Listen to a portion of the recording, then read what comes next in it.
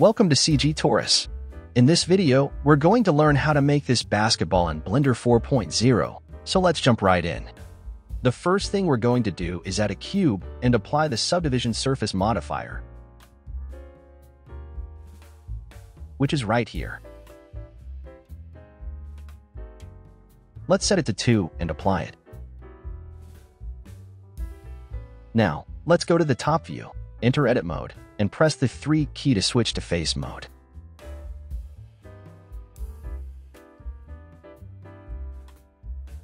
Now, let's activate X-ray mode and select these faces. Press the Shift key to keep selecting more geometry.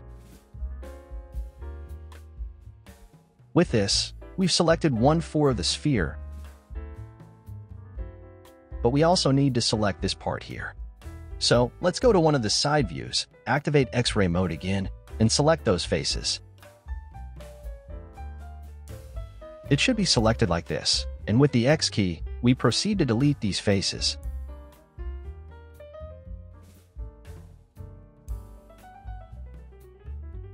Once we have this, we'll go to one of the side views and make a cut across this segment.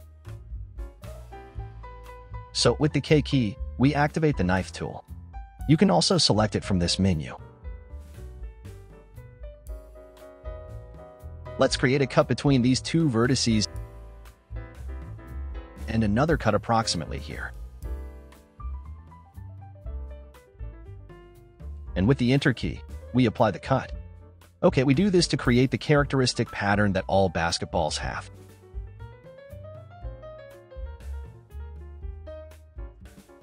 Now, let's apply the mirror modifier to restore our sphere. In this case, since we only have 1 8 we need to apply it to the y, x, and z axis. So we apply it to the x-axis, the y-axis, and the z-axis. And we would have our sphere again. It's crucial to enable clipping so that our mesh is connected. Let's apply the modifier, and as you can see, we have our sphere with its respective cuts.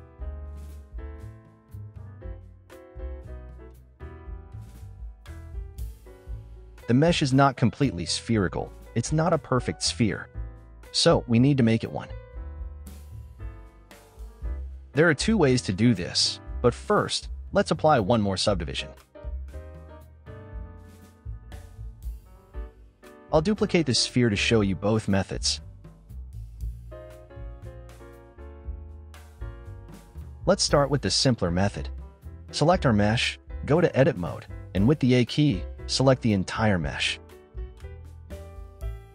Now, go to the Mesh menu, Transform, and Sphere. Apparently, nothing happens, but if we move the cursor, the value in the top left corner increases. We need the value to be 1. So move the mouse until the value is equal to 1. And as you can see, we have a perfect sphere. We can compare it with this one, and obviously, we see that this sphere is much squarer because we started with a cube. Our second method involves using a modifier called cast in this case. Here, as you can see when applied, it already gives us a more spherical shape. But to make it a perfect sphere, we need to raise the value here to 1. So, increase it to 1.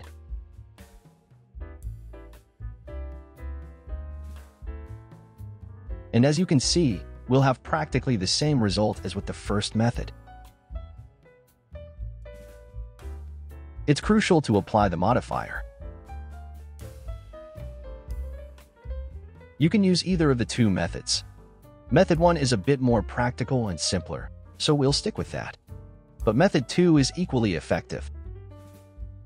Let's delete this sphere. Now, let's proceed to mark the basketball pattern more effectively. But first, let's add the subdivision surface modifier again, but this time, we won't apply it.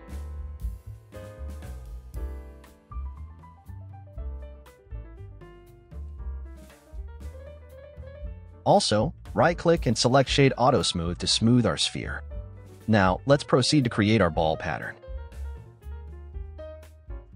We'll select with the 2 key, which is Edge Mode, all this geometry here.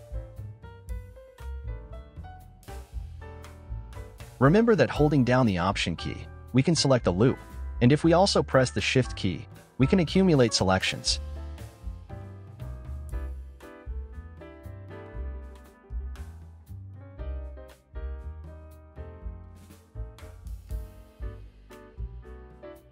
Now we need to create a bevel.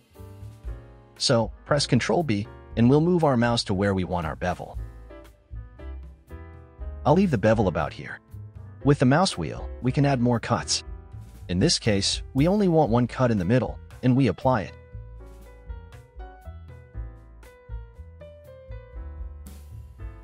Okay, now what we're going to do is select this middle cut. For this, we'll use the Select Less shortcut, which in my case, I have modified. But if you go to the Select menu, you can find the option with its original keyboard shortcut. Now, we're going to use the Option S command for scaling. It's crucial to have the proportional editing function activated. We activate it and use the Option S command to move the mesh inward. Remember that with the mouse wheel, we modify the proportional editing distance. In this case, the distance is almost the same size as the 3D cursor.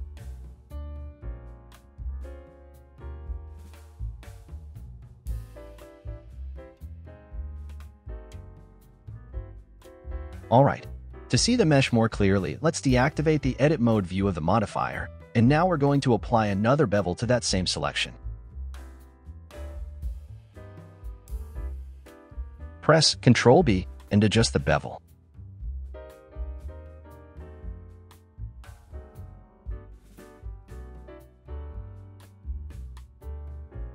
Now, let's select these edges, the edges we just created with the bevel.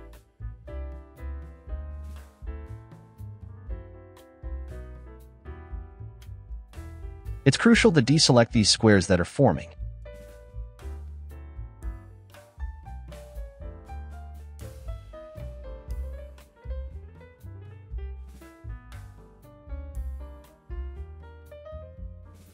Now, let's apply another bevel.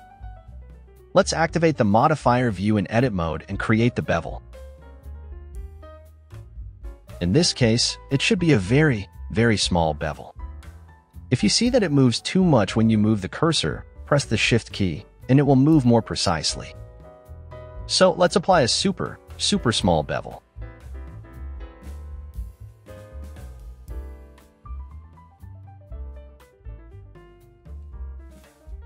And as you can see, we've created a pattern on our sphere.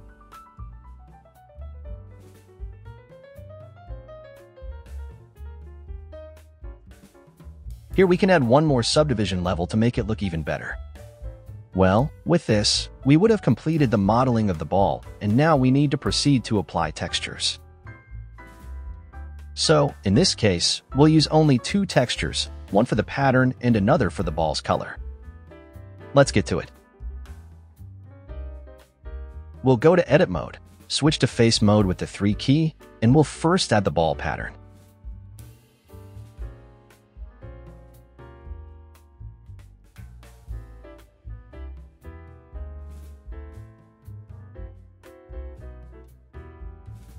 Now, let's go to the Materials section and add a new material. Let's change the name to something more appropriate and select a fairly dark color, almost absolute black. Finally, click on Assign, and we have assigned the selected part of the mesh to a specific material. Now, let's create a new material for the rest of the ball.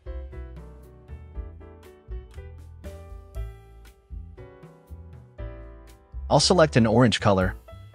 And now, let's invert the selection to assign this new material to the rest of the ball.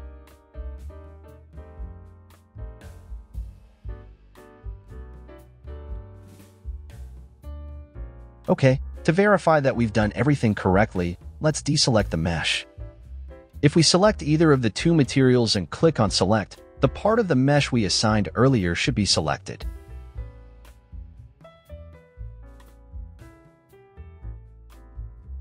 Now, I'll make a small correction here.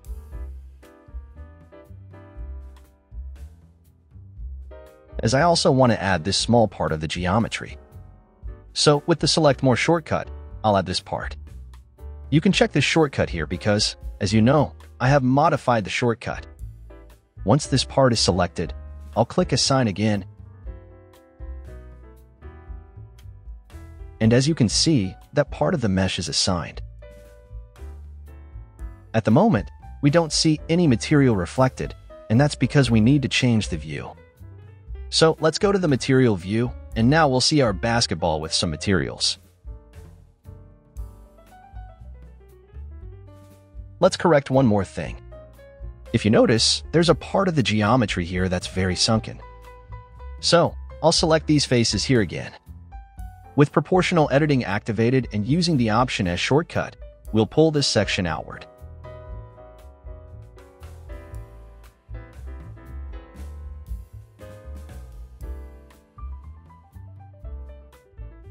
I'll reduce the proportional editing a bit and continue adjusting that area.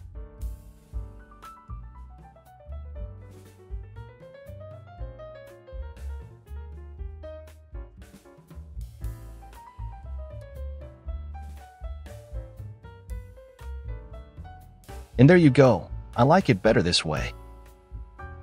With this, we'll have our basketball with basic texturing. Okay, now what we're going to do to finish texturing our basketball is to unfold the UVs of our mesh.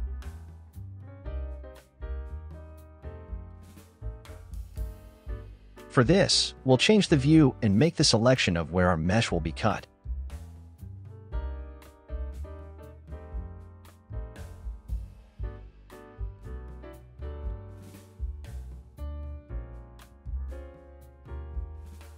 In this particular case, we'll use this outer edge that we had created before with the bevel.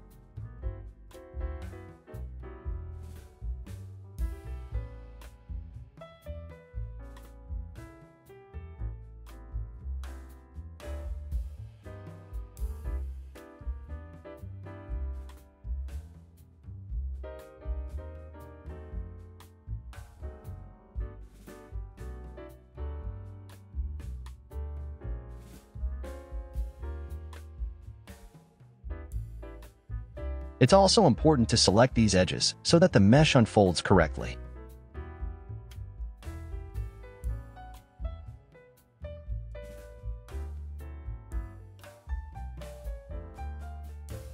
With this, we'll have everything selected that we need. Now, right-click and choose Mark Seam. Our entire selection turned red, as you can see. Here we have a duplicated mesh, so what we're going to do is select the vertices of this square.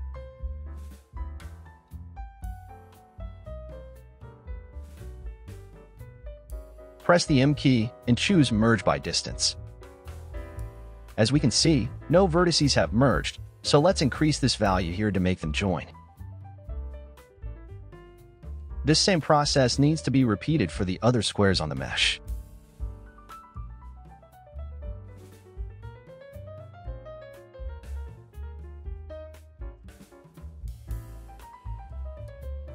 And finally, select these vertices. Now we can continue.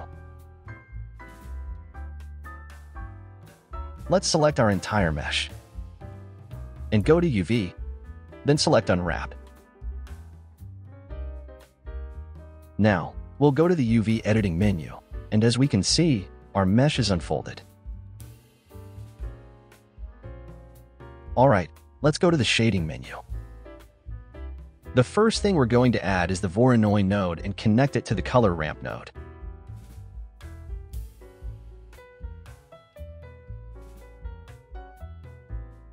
Let's invert the color ramp.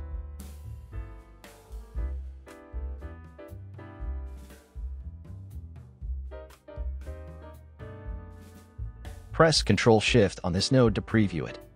This keyboard shortcut is from an add-on called Node Wrangler that comes with Blender, so you can activate it from the add-ons menu.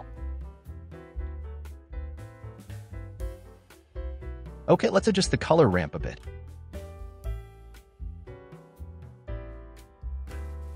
Now let's find a scale that works.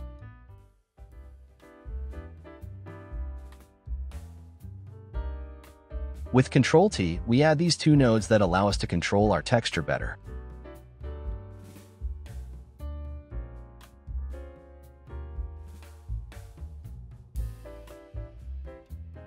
We'll reduce the random value to 0.1 and connect the texture coordinate to mapping from UV to vector.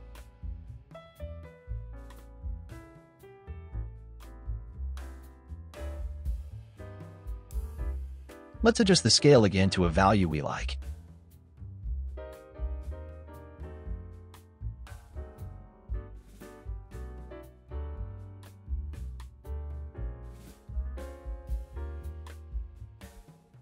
Connect the principal BSDF, and for color, let's add another color ramp. Select a light purple here.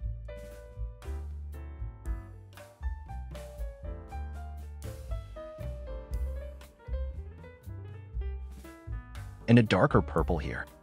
You can copy the previous color and lower the brightness to make it darker.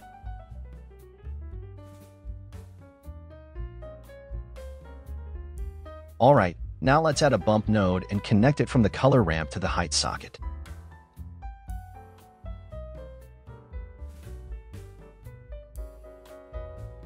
Connect the bump to the normal. As we can see, we're starting to have some relief in our material. Let's lower the bump strength a bit.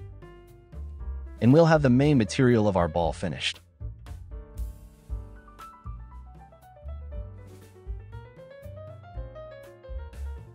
Now, what we need to do is add the Lakers logo here to give the ball a better appearance. So, let's add an image texture. And add a new texture. You can find this texture in the description. You can use the texture of your choice. Just keep in mind two important points. First, the size of the image, which has to be square.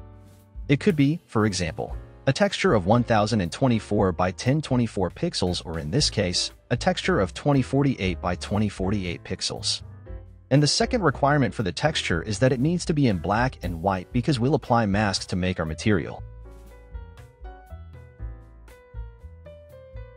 Okay, so let's press Ctrl T and go back to the UV editing menu. Select our texture, and to not alter the texture we made earlier, let's create a new UV map.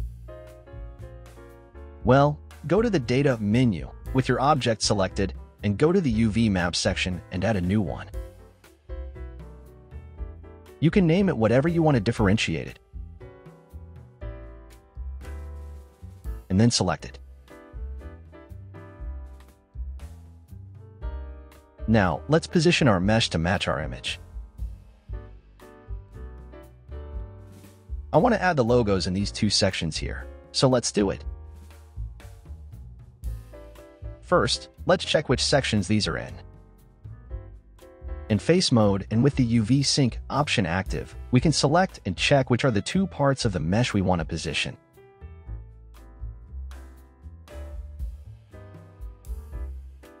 In this case, as we see, it's these two. So with the L key and the mouse over the mesh, we'll select this island. And again with the L key, we select this other island. Since we don't need the rest of the mesh, let's invert the selection and move all this mesh outside of the texture.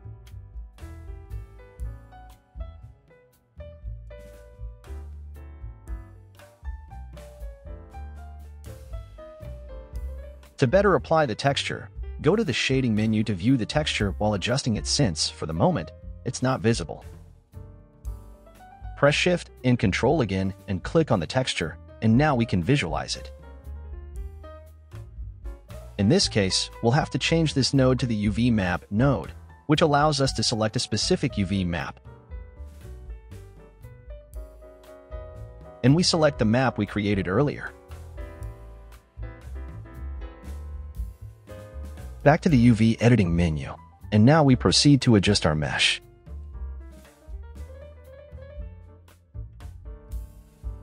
Select this island with the L key, and with the G key, we'll move it.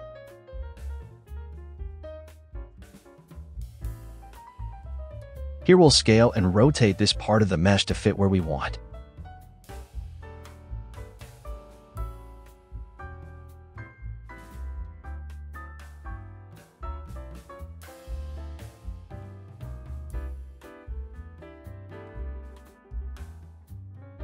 Now, let's adjust the bottom island.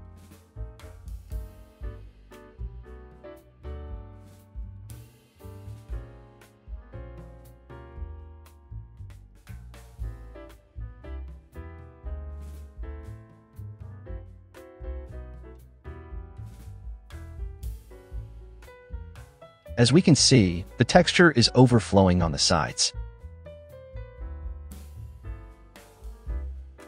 To fix this, go to Shading into the texture to change this value to extend.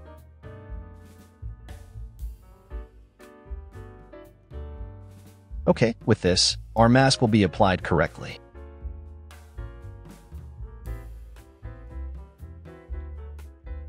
Now let's add a Mix Shader node and connect our texture to the factor of the Mix Shader.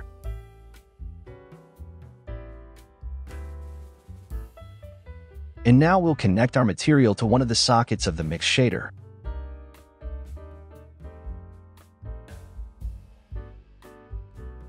This way, we have applied our mask. Now let's create the logo material. For this, select the first material we created and duplicate it with Shift-D. And make some small changes. Let's select an orange tone here.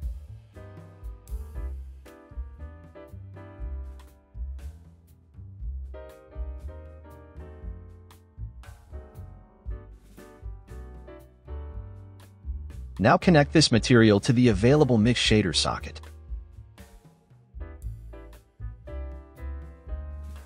Now we're seeing our two materials. I'll adjust the colors and the scale of the logo material a bit, but you can leave it as it is, depending on the aesthetic you want to give to the ball.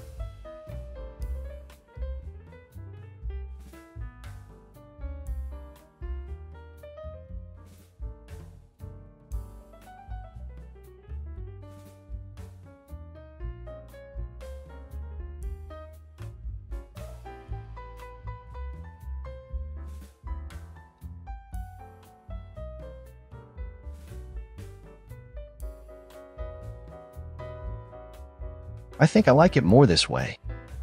Now let's add one last detail. Let's make our logo have more relief. So what we'll do is duplicate our texture, put it down here, and add another bump node. Connect it like this,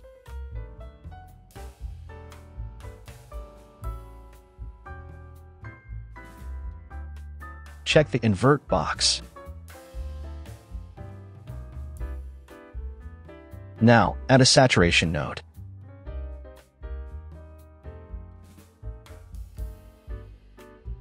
This is done to try to hide these artifacts generated here.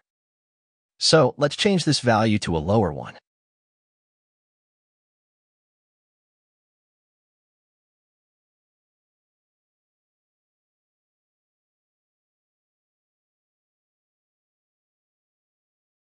Finally, connect this node to the bump node of the logo material.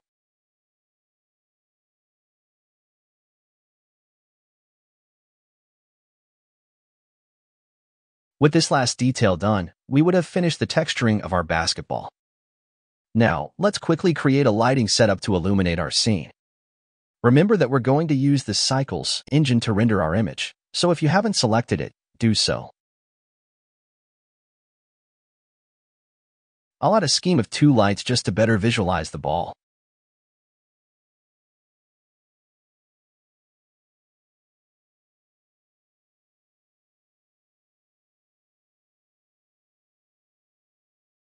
You can copy this same configuration, but remember that the lighting in a render is crucial, so I recommend experimenting with the lights to get a better result.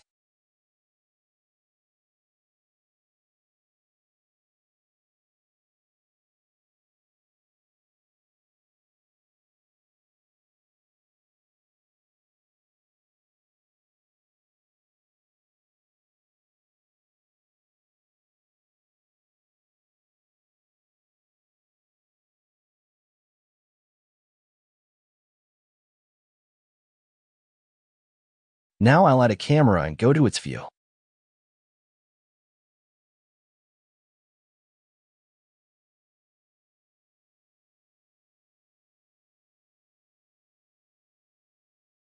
To move in our scene with the active camera, go to the View menu and activate the Camera to View option.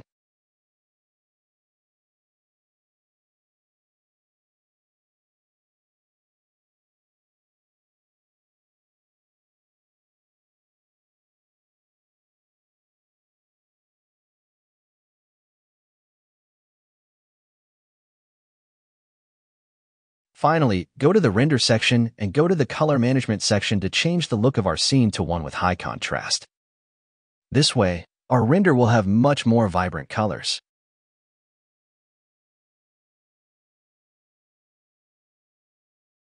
Now, we just have to render our scene, and we'll be done. Well, I hope you liked and found this video helpful. Remember to subscribe for more content, and don't forget to hit the bell so you don't miss any videos. Thanks for watching, and see you in the next one.